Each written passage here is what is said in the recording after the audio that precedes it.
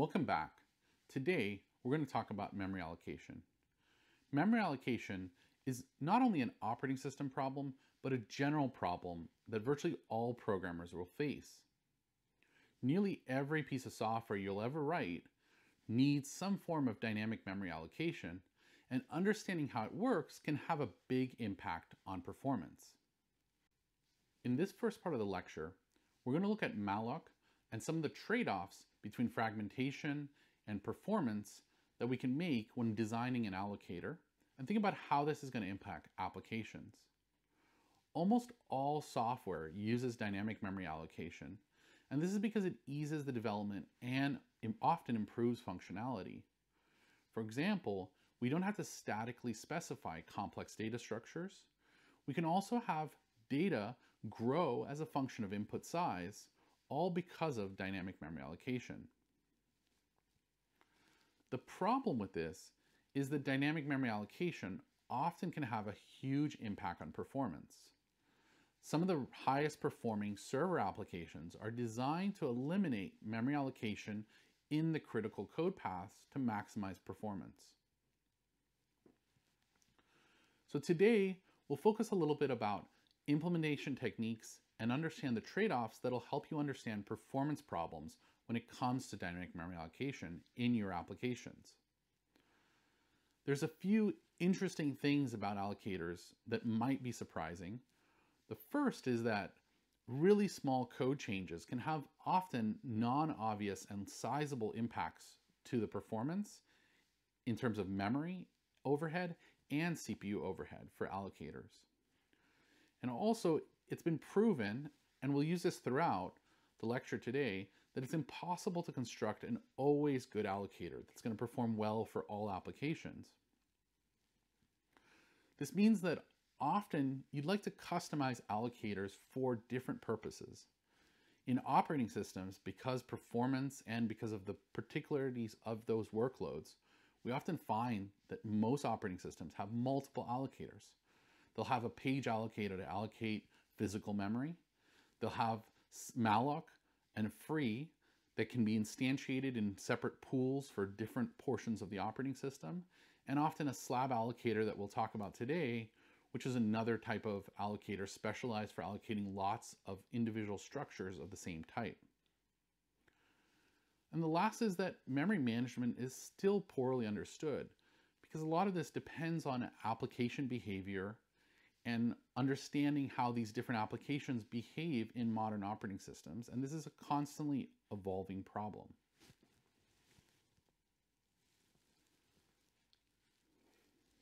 So let's see quickly, why is it hard to build an allocator? So we can arbitrarily satisfy a bunch of allocations and frees. It's really easy to do this without freeing any memory. So the most basic allocator we can have is what's known as a bump allocator. And this is sometimes actually used as a building block for certain types of allocators, where we allocate blocks of memory on demand by calling malloc, and all we have is a pointer to the current free position, and we'll bump that pointer every time we allocate some number of bytes to the next free position. This makes it incredibly fast to do allocations often just a couple cycles. The problem with this, obviously, is that we can't easily free arbitrary memory inside of this heap. We'd have to free the entire heap or free things in reverse order from the allocations. So if we think about it, the stack works a lot like the bump pointer. There are other examples where bump pointers are used. Some very high performance allocators for garbage collection so think of languages like Java, JavaScript, where there's dynamic memory allocation, but the free is done automatically as part of the program language runtime. In these cases, sometimes a bump allocator is used within pools of memory, and then the garbage collector takes care of copying that memory over to another location and freeing all those things lazily in the background. So the problem though, as you should be able to see already, is that every time you free things in this allocator, we're creating fragmentation we're creating gaps of free space that maybe we can use in the future and maybe we can't. And over time, it can be very difficult to satisfy re memory requests if we end up with lots and lots of fragmentation. Let's look at this a little more abstractly. At a high level, the allocator has one or more free lists. These free lists contain lists of blocks that are free that it can hand to the application. In a sense, the allocator needs to track the memory that's in use and what parts are free. And it should ideally do this with no wasted space and no time overhead. What it can't do is control the number and size of the requested free and malloc operations. It can't move allocated regions after it's given them to the application. This isn't true for garbage collectors that we'll touch on later in the, in the lecture, but generally for dynamic allocation, this is true. And the core fight is going to be to minimize fragmentation and do this efficiently. So imagine that the application can free blocks in any order, creating holes in the heap, and we want to make sure that those holes aren't too small that we can't satisfy future requests. So here in this example, we've allocated a bunch of blocks, we try to malloc 20, and we can't really satisfy it because we have these two blocks of 10 but they're not adjacent to each other, that we could combine them back to a block of 20. What is it that leads to fragmentation?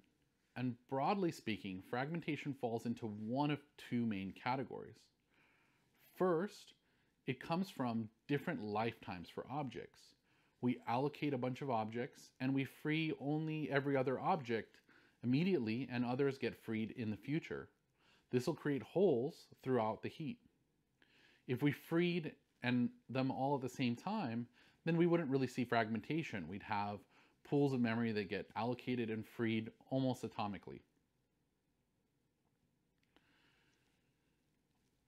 This also stems from different sizes of allocation. If we always allocated the same size object, then we could just have an array of that object and hand those out to the application. And this is the basic idea behind the slab allocator that we'll touch on later in the lecture. So what are the main important decisions? There are three main sets of decisions that any allocation strategy can implement. The first is placement, deciding where in the free memory or which free block can be used to give to the application when a request is made. Ideally, we want to put the block in a place where it's not going to cause fragmentation later, but this is generally impossible unless we have some kind of future knowledge or application-specific knowledge. The second is that we'd like to split blocks to satisfy smaller requests. This is going to fight internal fragmentation. Imagine that we had a bunch of blocks that were 30 bytes in size, but we only needed 10 bytes. Well, it'd be nice to be able to split those up into 10 byte chunks that we can give to the application. We can choose any larger block to split, but again, this comes back down to the internal and external fragmentation we might cause through this choice. One way is this best fit strategy. We might choose this block with the smallest remainder once we split it. And the last choice that most allocation strategies will use is to decide when to coalesce free blocks to generate larger blocks. Imagine that you free two adjacent blocks. Well, we could figure out that the adjacent block is free and then try to coalesce those into a single larger block. So here, imagine that 20 and 10, they're both free. So we'd like to be able to coalesce them into a block of 30, making us have more freedom for allocation decisions in the future. Sometimes we're going to do the coalescing immediately, and sometimes we'll have to defer it to a later operation only when it's needed by the application. This is going to trade off performance between the malloc and the free paths of the allocator.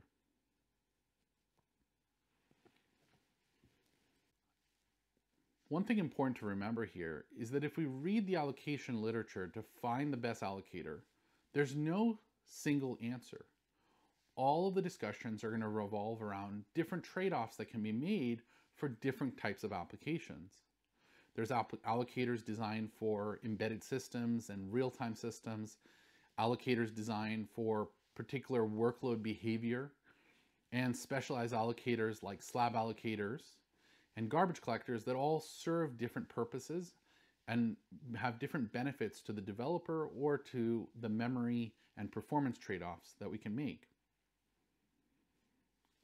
The main theoretical result is that for any possible allocation algorithm, there exists a stream of allocation deallocation requests that are going to defeat the allocator and force it into severe fragmentation. How much fragmentation we tolerate depends on the workload. As we said, we'll show that in general, a bad allocator will be proportional to the ratio between the largest and smallest allocations made.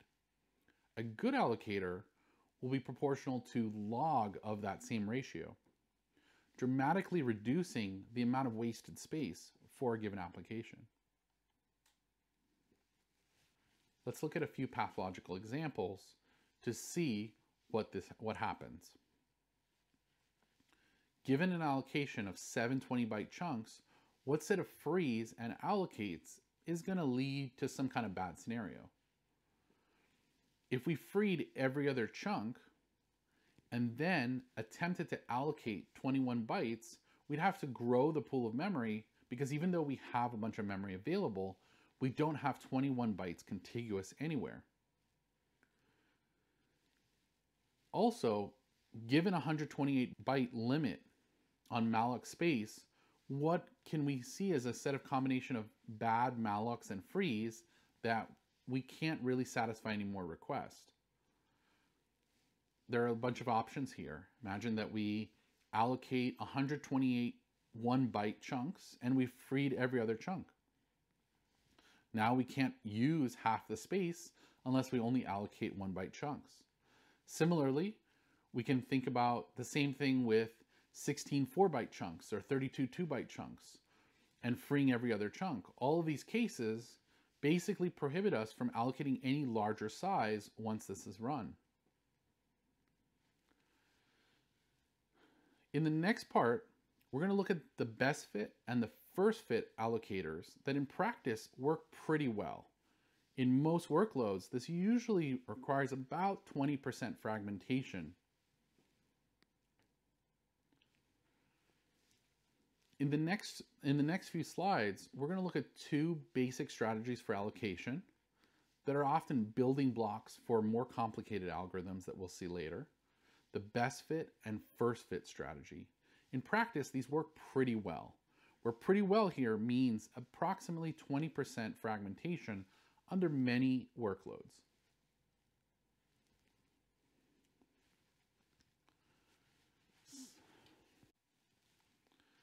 So the first strategy is the best fit strategy. The best fit strategy minimizes fragmentation by finding the block that leaves the smallest fragment. So here the data structure for the heap is just a linked list of all the free blocks and we'll have a header that has the size of the block and a pointer to the next block. And the code simply just scans over this linked list looking for the block with the closest size to the actual request. If we find an exact match, we can return immediately, otherwise we'll scan to the end, finding the closest match. During free, we're going to try to coalesce any adjacent blocks so that we have the largest possible block in the free list at any given time. The main problem with the best fit approach is that over time, we're going to be left with a bit of sawdust, essentially tiny fragments throughout that we don't know what to do with. Fortunately, this isn't really a problem in practice. Sometimes it can be mitigated by having some sort of minimum size for allocation. So how can best fit go wrong? So we can find a bunch of pathological cases, but a, a simple one to think about is allocating a block of size n and then a block of size m in alternating order, and then freeing all the n's, and then trying to allocate something slightly larger than n. So imagine here, we started with 100 bytes of memory. We allocated 19 bytes, 21 bytes, 19 bytes, 21 bytes, 19 bytes. And then we freed all the 19 byte regions and we're left with 57 bytes of total space, but we can no longer allocate even a 20 byte region. While this seems like a simple example to come up with, in practice, this doesn't really match the way a lot of real programs behave. So fortunately, this doesn't usually pose a main a big problem to the best fit allocation strategy. Another strategy is the first fit allocation strategy. With the first fit strategy, we're just going to find the first block that fits. So we could have a free list or some other sorted list or first in, first out, or sorted by address data structure that manages all of the free memory. And all we do is we scan the list to find the first block that matches. The nice thing here, this is going to be much faster than best fit. We don't have to scan the entire list to look through all of all the free blocks in memory. We're just going to grab the first one and we're going to give that to the application, potentially making the allocation operation very fast. And sometimes this is also has other benefits. So if we use the last in first out policy where we put free objects on the front of the list and we try to reuse those objects immediately, we sometimes get better cache locality because we'll be reusing memory that has been recently used by the processor. Other strat strategies like sorting by address or first in, first out might avoid some of the higher fragmentation of the last in, first out but have other trade-offs um, that we can make. The last in, first out, first fit allocation strategy is a nice example of the subtle choices that we can make during design that impact application performance. The last in, first out, first fit, while it seems good, in the best case, freeing and allocating are going to just be pushing and popping to the front of this list. And the hope being that if we reuse similar sizes again and again, it's going to be very cheap and it's going to have good cache locality. The problem is that simple allocation patterns can often cause problems for this. Imagine intermixing, again, two size patterns, a bunch of short-lived 2n byte allocations with some longer lived n plus 1 byte allocations. Each time one of these larger objects is freed, a small chunk will be quickly taken by these n plus 1 byte allocations, leaving a fragment that we can't really reuse. The first fit allocator sorted by address might seem a little odd at first, but if we think about it, it's actually operationally similar to a best fit allocator. The blocks at the front are preferentially split more often than the uh, blocks toward the back of the list unless we can't find a larger one before them. So the result is that we're going to end up with a free list that's roughly sorted by size. So this is going to make the first fit allocator, in this case, very similar to a best fit allocation. We'll essentially scan for the first block large enough, and generally the beginning of the list is going to contain smaller blocks, the later list is going to contain bigger blocks. The problem with this, similar to the best fit allocator, is that we're going to end up with a lot of sawdust, particularly at the beginning of the list. Sorting the list forces the request to skip over many small blocks and we need to use a scalable heap organization to do this. Again, like anything else with allocation, depending on the workload, best fit or a first fit sorted by address will perform better than the other. So here in this example, if I just had 20 and 15 as two free blocks available, if the allocation operations were 10 and then 20, the best fit allocation strategy is going to win the first fit strategy will be unable to satisfy it with just these two blocks. Can we find a case where the first fit is better? Of course. If we allocated 8, 12, and 12, in the first fit strategy, we'll split that first block into 8 and 12, and we'll satisfy the immediate 12, and then the remaining 12 will be satisfied by the block that's of, that contains 15 bytes. In the best fit strategy, in this case, we would have tried to allocate the 15 byte block left over with 7 bytes left, and then we would have gone to the 20 byte block and allocated 12 bytes with 8 bytes left, and we'd have to allocate more memory to satisfy the last request. Generally, these are worse off strategies. One is the worst fit strategy. This basically tries to fight sawdust by splitting blocks to maximize the leftover size. But usually this doesn't seem to help any workload and, and this usually causes the problem where no large blocks are going to be left around. Also, the next fit strategy, where it's similar to first fit, but instead of starting the search from the beginning, we start from the search from where we last left off. This seems like this might be a good idea, but if we were sorting by address, we would always be looking through the list for blocks of a larger size. And also buddy systems. Buddy systems usually round up allocations to power of two to make memory management faster. So we might allocate blocks of 128 bytes and 256 bytes and 512 bytes and one kilobyte, two kilobytes, etc. The results of these buddy systems are that usually they have heavy internal fragmentation, but they are nice allocators and they're sometimes used in, in the initialization of operating systems. Now that we understand a little bit about memory allocation, and we've got two basic algorithms that we can use to implement memory allocators, let's understand a little bit about common workload behavior patterns that we can use to make better allocation decisions. Sometimes these will be used to make specialized allocators for specific needs. After this, we'll dig into some details on several more advanced allocators and look at other memory management topics. So far, we've been treating programs as basically black boxes. So let's look at the program behavior to look at common patterns that we might see in allocation and freeing.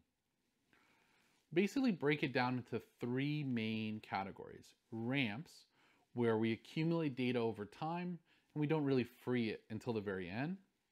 Peaks, where we allocate many objects, use them briefly, then free them all and continually do this and plateaus where we allocate a bunch of objects and use them for a long period of time before freeing.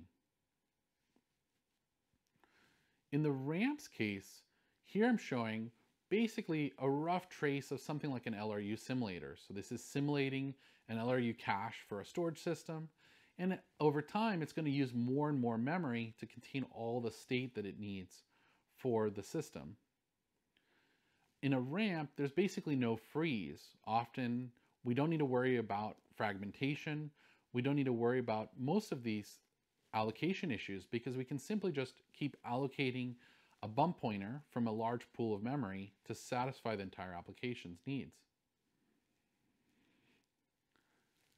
A second common pattern, and here we're showing an example of a GCC compiling with optimizations.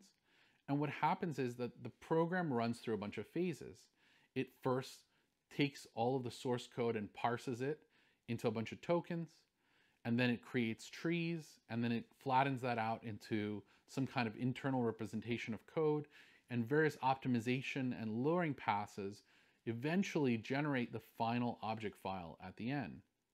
So each of these peaks that we see and troughs represent changes of the phases of the application. Here, fragmentation is a real danger because we are carrying over some objects.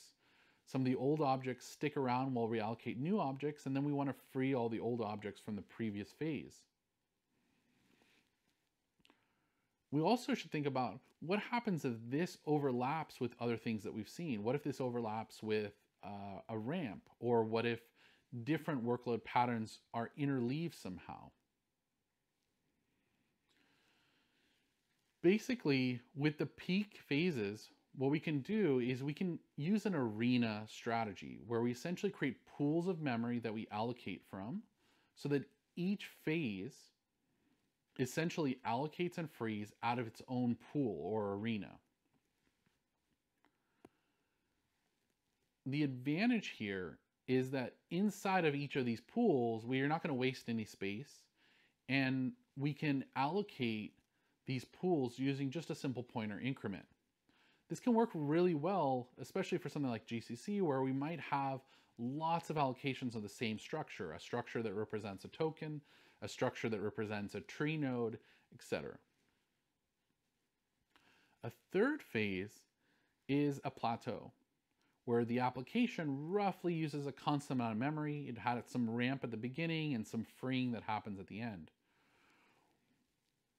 What happens if this overlaps with other plateaus or with ramps or with other operations going on in the application? One general strategy that we can use to fight fragmentation in this case, where we might intermix different parts of the workload, is using some form of segregation to reduce fragmentation. We can use two basic heuristics. First, that things that are allocated at the same time tend to be freed at the same time. And the second, that different types of objects are often freed at different times. So think of GCC, the objects represent tokens and represent trees. Those objects are created at different times and they tend to be freed together. Also, each of those types tends to be freed together. When we're done with the tokenization phase and we've got a tree structure representing our source code, we might free those tokens. There's a lot of observations we can get from real world applications. One that programs often allocate a small number of different sizes. There's not a huge variety of sizes. The fragmentation of the peak is often going to be more important than in low memory use. And that most applications are relatively small. Let's put these heuristics together and our basic understanding of allocation from the beginning of lecture to look a little bit in detail into two allocation strategies that form the basis of a lot of common allocators out there.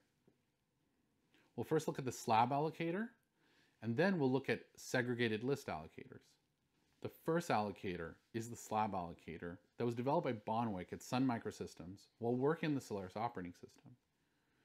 He realized two key observations about the operating system kernel that the kernel allocates many instances of the same structure.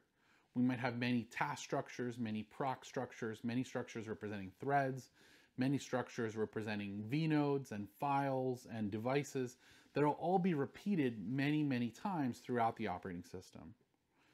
And the second was that often we cared about allocating these things in contiguous physical memory for being able to do direct I.O. to devices. The slab allocation optimizes this. And all it is, is that we allocate pools called slabs that contain multiple pages of contiguous physical memory and a cache that contains a pool of slabs. Each cache is used for only a single kind of object, right? It's fixed size. We have just the task struct or just the proc struct in a single instance of a slab allocator and each of the slabs might be full, empty, or partially used, and we'll try to allocate out of these slabs through this cache interface. If there's a partial slab, we'll try to allocate the structure from that. If not, we'll go to an empty slab, and we might even need to allocate a brand new slab. The advantage here is that allocations are incredibly fast. We're basically allocating out of just a few linked list structures. So these allocation decisions can be made in just a few cycles. And there's no internal fragmentation because we know the size of all the objects in the slab.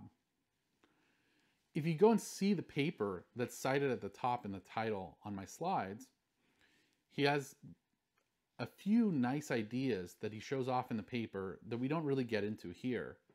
An additional thing is that when the kernel allocates structures, kind of like you do in C++, you have a constructor and a destructor that usually initializes and uninitializes the structure state. Some of that state can be reused across multiple allocs and frees of a structure. So in his work, he splits the constructor into two parts, an initializer that does some initial setup, and then the constructor that does the final setup for that individual use, and two parts for the destructor in the same way. This allows the slab allocator to not only benefit from these allocation decisions, but it also takes into account some of the work of doing constructions and destructions and trying to avoid fully destructing and reconstructing the object by reusing some of the state if at all possible. This also contributes to a big reduction in the, in the overhead, the CPU overhead, for the slab allocator. There's some follow-up work that he did in a subsequent paper that also has some other applications to user space and general resource management that's pretty interesting. And I should note that the slab allocator isn't just used in operating systems today, it is used in many high performance user applications. And also it's the basis for some of the more advanced dynamic memory allocators that are in use today. A second class of dynamic memory allocators are ones that use a segregated free list. Usually this list will contain a bunch of buckets of small size objects, and these might be linearly spaced. Usually they're not power of two space the way a buddy of an allocator is. And each bucket contains a fixed size object, kind of similar to a slab allocator, but it's just a linked list of free objects anywhere in memory, and allocations and frees can happen off these lists. For larger allocations, usually we'll have different ways of dealing with them. We might have a tree structure, or in some cases, for large enough allocations, we might directly ask the operating system for memory to mmap and unmap regions of memory for the application. The advantage here is that for each segregated size, we don't need any size tag, and it's very fast to do these allocations. The downside with this approach is in the worst case, we might waste an entire page of memory without freeing if we're not using a lot of objects per size. A lot of allocators are built on this. TC malloc is a well-documented allocator that uses this strategy. And there are extensions to this, for example, a two-level segregated fit used in embedded allocators, like the TLSF allocator.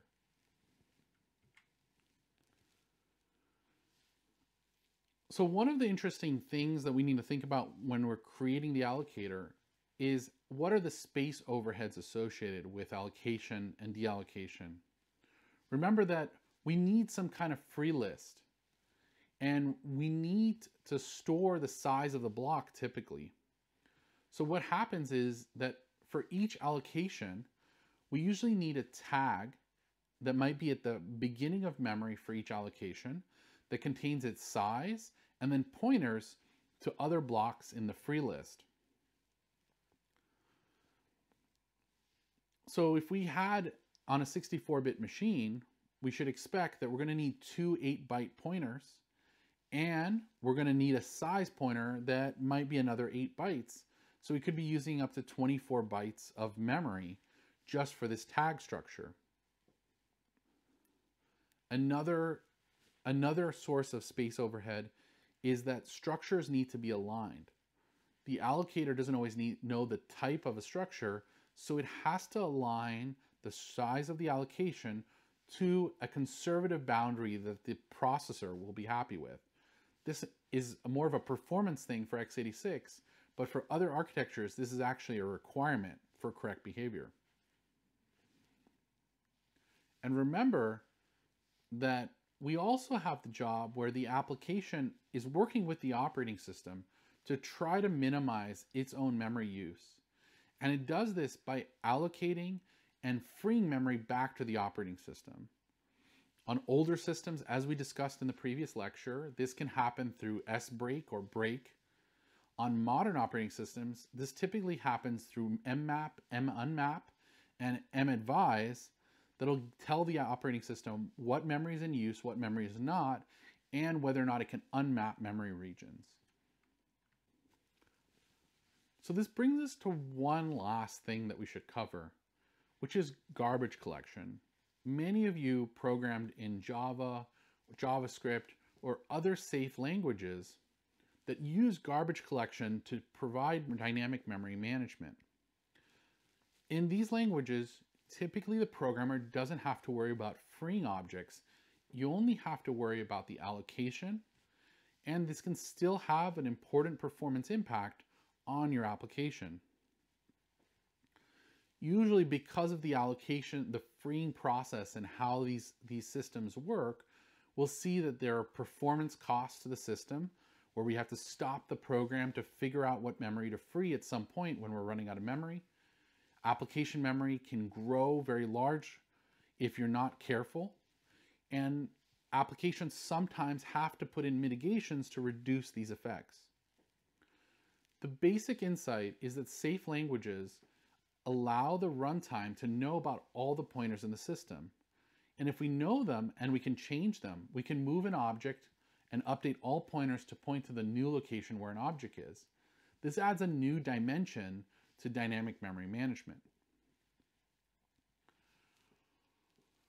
What memory locations might a program be able to access? Well, it starts in the CPU registers. Any object in the CPU registers or accessible indirectly through the CPU registers is accessible. Those include the stack pointer, which means all objects on the stack are indirectly accessible. Everything else is unreachable or garbage. These should be pointers that should be freed by the runtime. And a basic strategy that can be done to implement this is what's known as the stop and copy garbage collection algorithm. Here, when memory starts to grow and we believe that there's too much memory being used by the application, we can pause the program, stop it, and allocate a new pool of memory.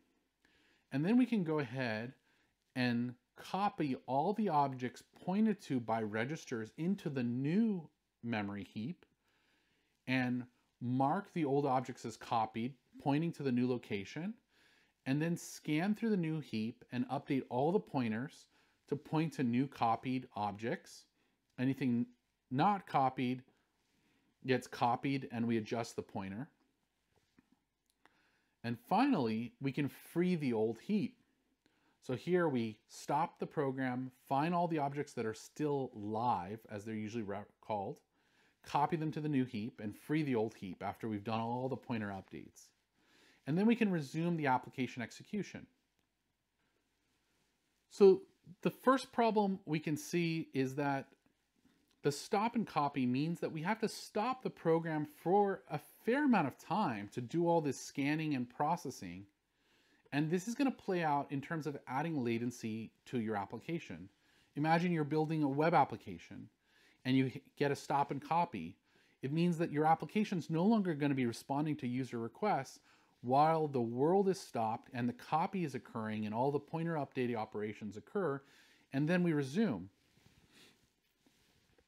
If we think about this in terms of what happens on real runtimes, a lot of older garbage collectors in older versions of Java, all these have improved now, but could see stop times of tens of milliseconds or hundreds of milliseconds, which start to be noticeable to the user. This might make some of these languages unusable for game engines and for, for game runtimes or for other latency sensitive applications. But in the hundreds of milliseconds, this could even be problematic for just website users that'll get frustrated. So this brings us to the first optimization we can do, which is a common one, which is to have a concurrent garbage collector. There are a bunch of different ways that these have been optimized over time. Um, but the concurrent garbage collector basically says that we can stop and copy, but we're going to do this without really stopping the program. We're going to allow the program to continue running, but every time the program wants to modify memory, we'll have to track those mutators, those attempts to modify memory, to ensure that changes are propagated to the new pool of memory that we've copied and that any pointers are properly updated and maintained. when the collector is invoked, what we can do is we can basically use the memory management tricks that we talked about from other lectures, call into mprotect, and block all modifications to the old memory. Now we can start copying objects from that are pointed to by registers or the stack into the new pool and resume the program. A number of languages use reference counting as an alternative to garbage collection. Those of you who've programmed on a Mac or on the iPhone might have used Objective-C and Swift that use reference counting with some compiler assistance. And if you use C++ a lot, you might be familiar with C++'s smart pointers, like the shared pointer, that do reference counting on objects and automatically free the object when all pointers are freed. Here, the idea is that every object just has a reference count, a count of the number of references to it. Whenever you copy a pointer to a new place, you're going to increment that reference count. And whenever a pointer is deleted or, or killed, you'll decrement that reference count. So in this example here, if bar A and B, if we say A equals C, well, the C reference count, if all of these are references, the C reference count is going to get incremented. And when we copy A to B, we're going to increment again the A reference count. And when we set A to zero, we'll decrement the C reference count.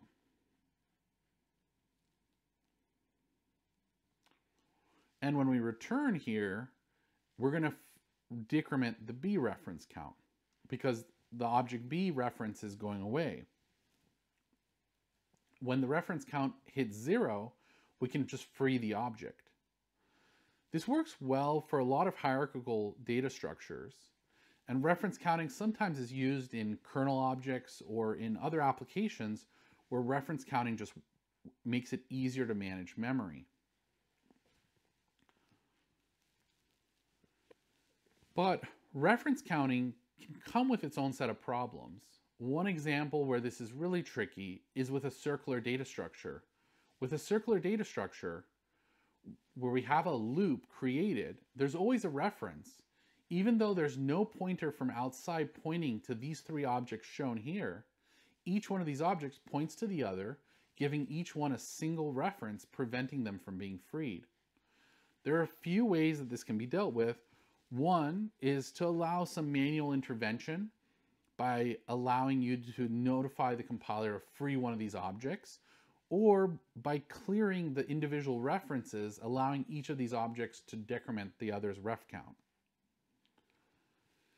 This can be potentially a better strategy than other garbage collector approaches.